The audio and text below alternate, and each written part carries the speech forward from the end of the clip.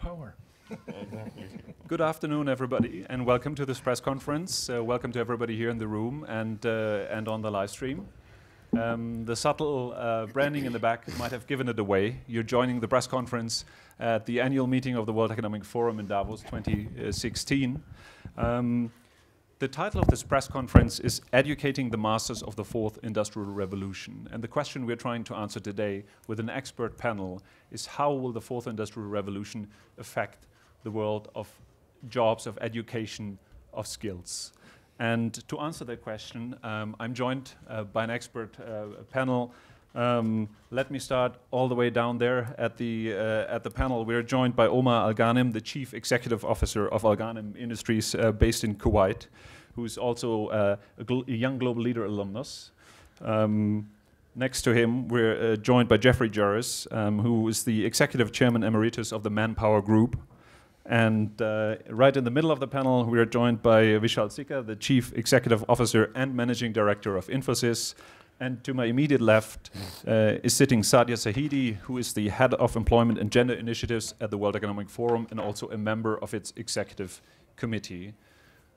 Without wasting any time, Sadia, you just launched the Future of Jobs report of the World Economic Forum. Share with us what were the key findings uh, maybe you have the answer already.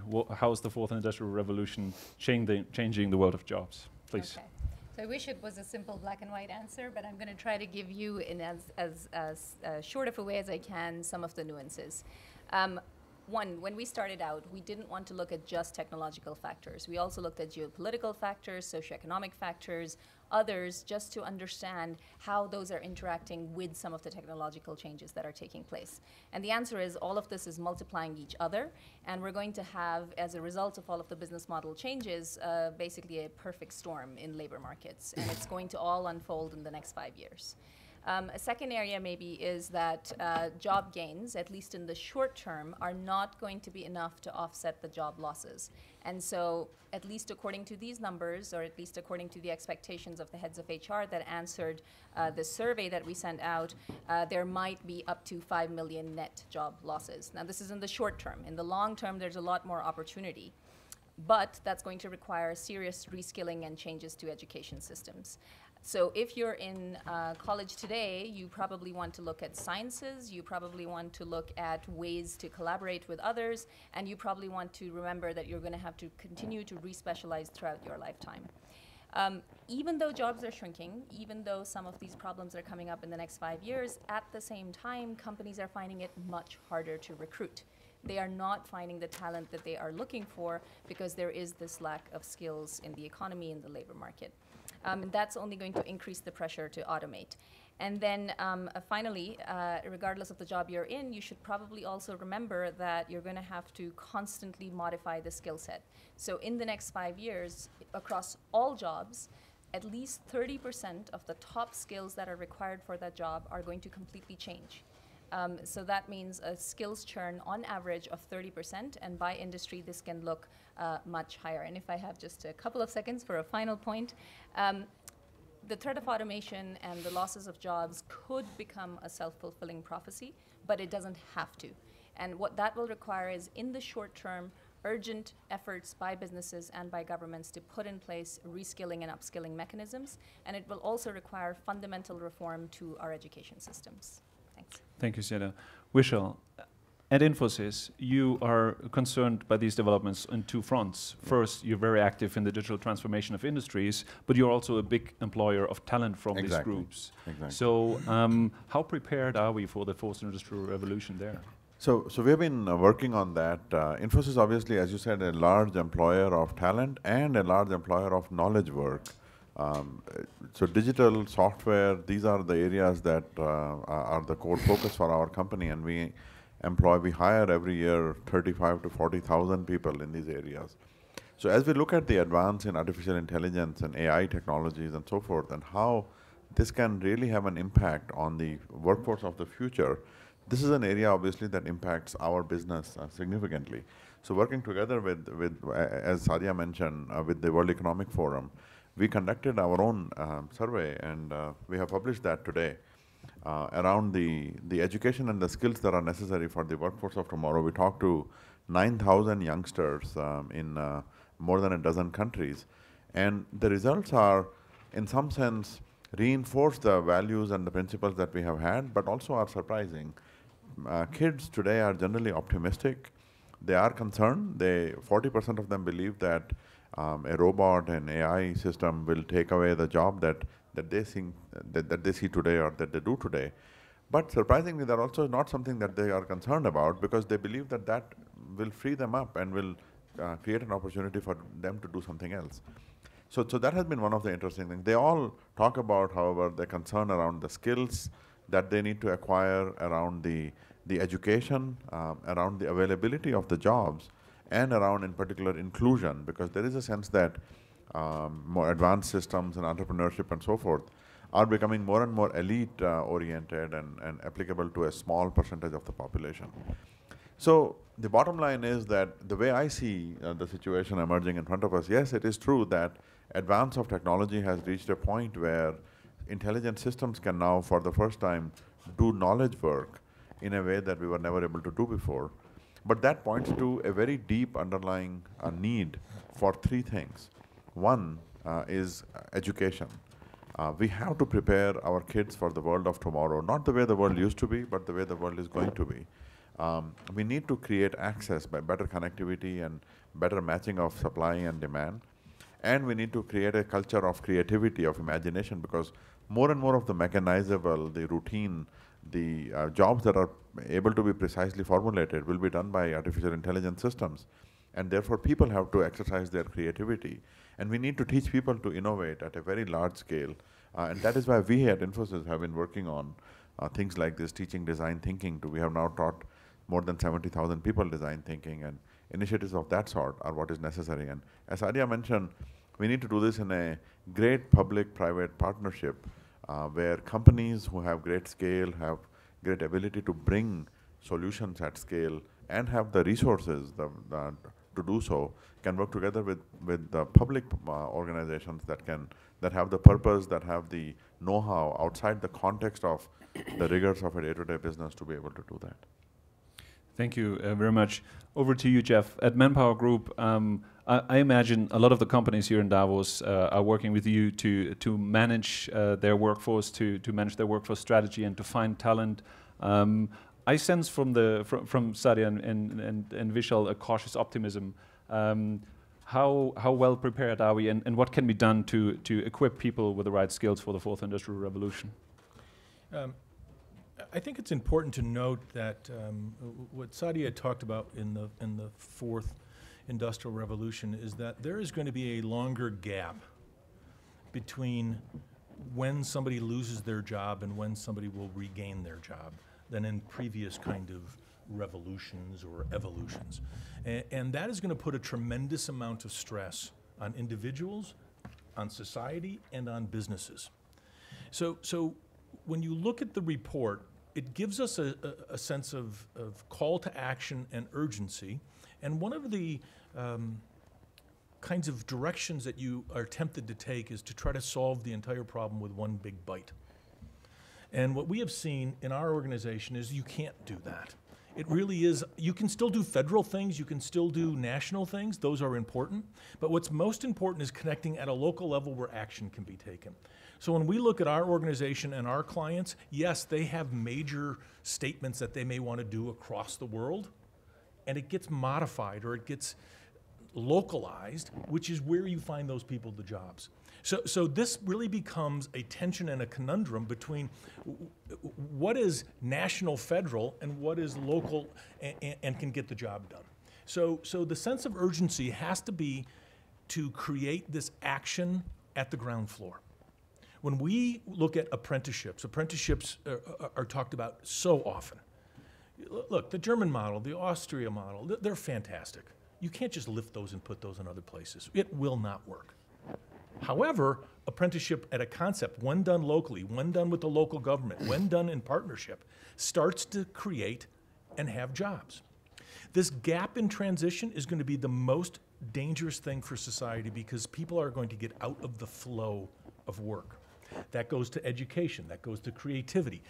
Our view as an, as a company and we, what we try to do is to get people right back into some type of job, to get back into the flow. Because if you're not in the flow and you step out at the rate of change, to get back in is nearly impossible. And we can't lose generations like we've lost in the kind of the youth issue that we've had in, in the downturn in Europe and in other places. So when we look at the report, when we look at it, it's about local, it's about action, and it's about making sure that we have this sense of urgency to minimize this, this absolute disruption that's going to happen during this transition from one kind of revolution to another revolution. Thank you, Jeff. Omar, um, I introduce you as the CEO of your uh, of Alghanim Industry, but you also have a role in our uh, in the forum's new vision for Arab employment. Um, and uh, I understand you have an announcement uh, for us, so uh, very excited to hear from you. Thank you.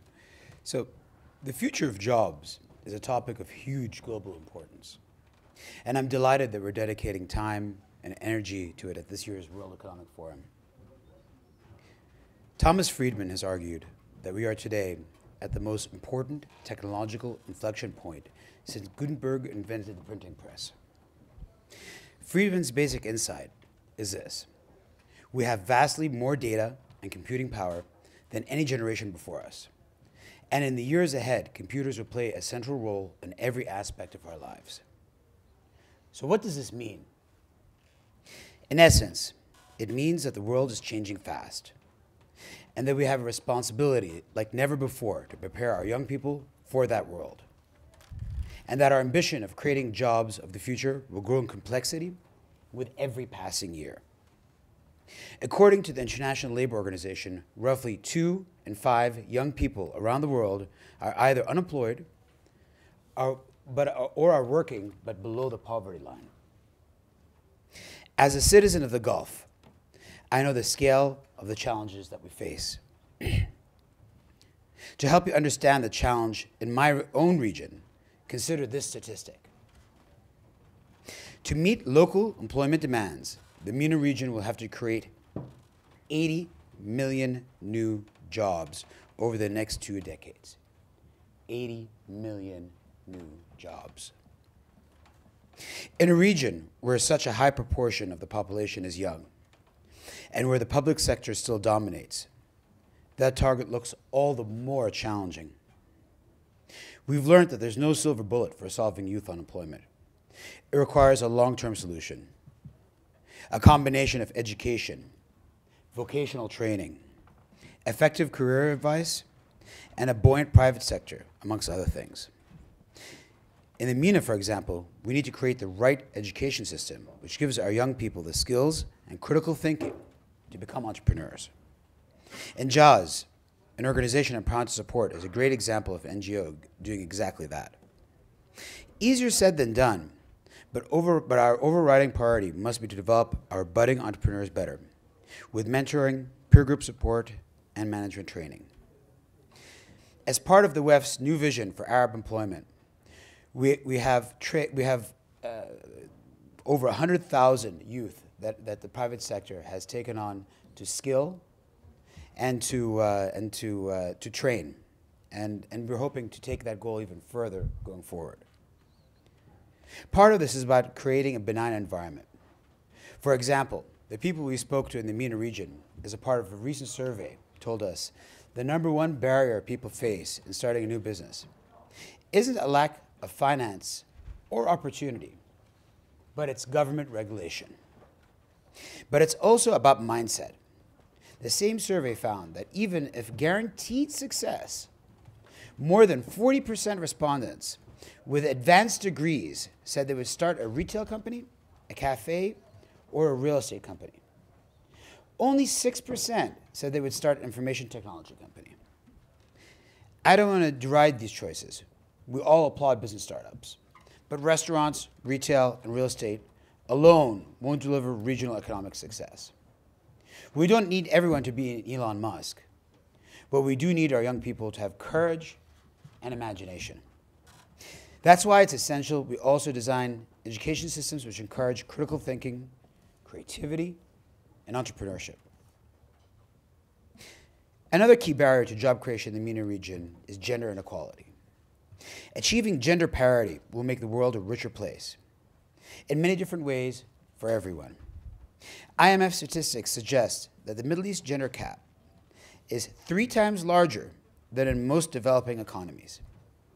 The same statistics suggest that if the gap was narrowed by just one third, the, the GDP of the MENA region would grow by a trillion dollars or 6% growth in GDP. It's not all bad, and there are some reasons for optimism. At my company, Alghanim Industries, we have a diversity inclusion steering committee that focuses specifically on these sorts of issues. To make our, um, our culture more appealing to women, we have increased our maternity leave benefits. We're changing our recruitment policies to encourage the hiring and retaining of more women. The plain fact is that creating a MENA economy of the future will depend on bringing women into the workforce, and I look forward to hearing about the efforts of others in the region as well. We know there are many things we can do to support young people into work, and we know that there's much more governments and businesses can do to empower the entrepreneurs of the future. The commitment of government and business leaders across the region is essential. We have to expand or create job training and upskilling programs in each and every corner of MENA. And as always, education remains crucial. People will need to be more creative, collaborative, and empathetic. After all, these are the, the traits that computers lack grit, persist, persistence, and the ability to learn and adapt constantly in the face of nonstop competition. These will all be essential. Finally, every student must have the opportunity to become an entrepreneur. Graduates need to be innovation ready, not just university ready. Graduates of the future will need to create their own jobs, not just apply for them. This is a formidable challenge, and not, and, and not one government can tackle alone. The effort will require collaboration, perhaps at an unprecedented scale, between governments and business leaders like us. The WEF report on the future of jobs will, will be an exceptionally useful tool for helping us to do exactly that, and I congratulate the authors on their work. I look forward to discussing these issues over the next few days, and I hope we can bin, begin addressing these urgent challenges. Thank you very much, Omar. Now, you've all proven uh, that you're aware of the challenges uh, on this topic and that you're working on it, that you're forefront of the research there. Um, let me let me ask a quick question. Do you have a, do you have the sense that your fellow uh, business leaders and the and the public figures here, we have more than 40 heads of state or government here, do they share that awareness for, for the topic? I'll, I'll just put you on the spot to answer that. Uh. My maybe I can start. Um, my sense is that uh, we are we don't see the longer term bigger picture as much as we should. And the near term urgent um, burning fires in front of us take more of our attention. That's the sense that i get. As i talk to other business leaders and public sector leaders uh, certainly over the last day here at WEF, but in general as well the uh, it is true that um, and and uh, as, as, as you mentioned the uh, um, near-term challenges around displacement of jobs and so forth takes up a lot of our attention. But at the same time, when we look really at the underlying issues, it is very clear that education is something that has to be emphasized. It is very clear that a much larger untapped human potential that is that is there uh, that we are not because of lack of inclusion and diversity that that needs to be brought in. It is clear that we see every time we see an entrepreneur succeeding, we see that the you know what needs to be uh, what needs to happen, what the right model needs to be, and yet my sense is that we don't emphasize these areas nearly uh, nearly enough. Mm. Thank you. Uh, you know, I, I would add that what we're finding is is that we've had talent shortages before. We've had disruptions before. So what happens is chief executive officers, uh, government officials kind of say, well it's been figured out before. It'll be figured out this time. Um, but I think what we need to be focusing on is this report shows us something that is a different paradigm. So we cannot take incremental kind of decisions on a system that is antiquated, whether it be the education system, whether it be the getting the job systems, the assessment systems. So, so herein lies where there is a face reality moment to take courage to say, we just can't tweak a 50-year-old system to solve this next gap of challenge because it's coming on us in a very different way. And that's where I believe we have to shout more, we have to be louder about it, and we have to get attention, as you said, of these, these leaders here that says it's just not going to be done like it was before. And there's nothing more satisfying for a CEO to think somebody else is going to solve it so I don't have to pay attention to it. And in this case, the CEO, the government officials have to say, we have to break down the antiquated systems to minimize the impact of this very difficult transition that's going to happen in the jobs market. Thank you very much, Jeff. Omar, Yeah, you want to I add mean, to that? I, I think if you, uh, we're all gathered here in, in Davos to be able to take a look at where 2016 is heading. And we're leaders, politicians, and supposed to be looking at the real challenges that we're facing. And as you said, there have been disjointments before in the job market. But I think if you look at the rate, in the last 10 years, I've been coming to, to Davos. Uh, I think the devices that all of you guys are holding in your hands now, and the type of technology we have, it's a very different world. And the rate of change is increasing, and increasing exponentially. So the urgency to fix the problem is becoming even greater and greater. So, you know, providing the, the, the empathy, the, the ability to be able to work with other people, and, and what made somebody successful in a job 10 years ago, the, those, those same things may make them actually unsuccessful in a job now, given, given, given computing power, I mean, given Watson in, in hospitals. I mean, before you wanted a doctor who had the knowledge about what different illnesses you had, now you want a doctor who's very good at querying Watson and understanding how, how best to get information out of there. Those are two very different skill sets. And I, and I think the same thing applies to a multitude of different industries. So I, I think that we really have to instill a sense of urgency and making sure that we really drive change. Because if not, I think we're going to see, you know, th- there's been much talk about the, the, the, the, the, the top 1% and, and how much the, the, the wealth disparity is in the world. And I think that wealth disparity is only going to increase if we don't address this. If you look at middle, middle skilled, uh, uh, uh, uh, middle class jobs, which is the backbone of every developed economy, 50% of those are going away in the next 10 years. So either those guys need to upskill or they're going to downskill because those jobs are no longer going to be available. And so this, this whole, it, it has, I think, has socioeconomic issues. And, and then, you know, the top 1% won't have anybody to sell anything to because the consumer markets are going to go away. So, so really, I think th- this is, this is a profound issue and one that, that really needs to be dealt with with a great sense of urgency, with all the companies attending, with all the respective governments attending.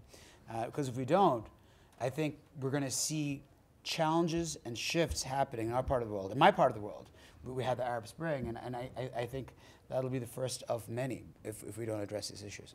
And I would suggest that um, uh, desperation is really the enemy of action. And why get to the point where you are desperate when we're at the point where we're urgent? Because urgency, you can create action out of it. When it passes urgency and gets into desperation, y- y- you have no action left anymore. Rational action, yeah. And, and that's where I think, w- w- you know, we don't want to cry wolf, but we want to be able to emphasize this enough that we have this window that we can still operate in. And if this window closes on us, it becomes desperate. And when you become desperate, as governments, as businesses, action almost becomes paralyzed at that point.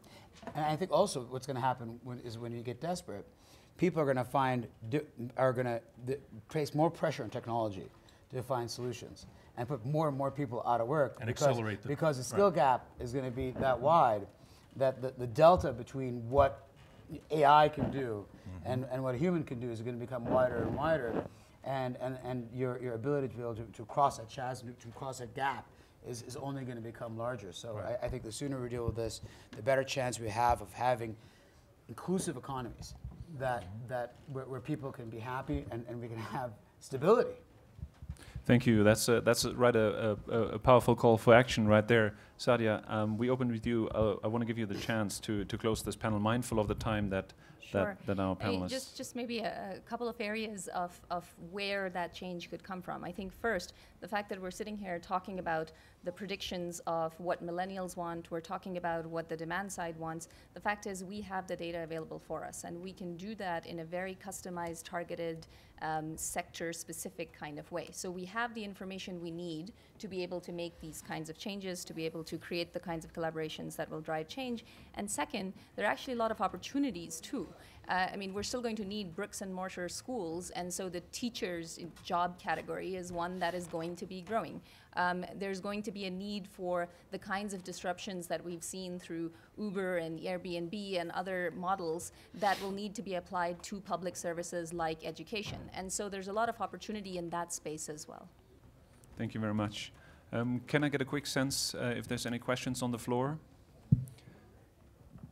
I think we, we answered uh, all questions. Then, uh, because I know you all have a very packed schedule, so carry that message to your fellow uh, Davos participants. Thank you very much for joining the panel, you and much. thank, Thank you you. for Thank you. watching. Thank you, everybody. Thank you very much.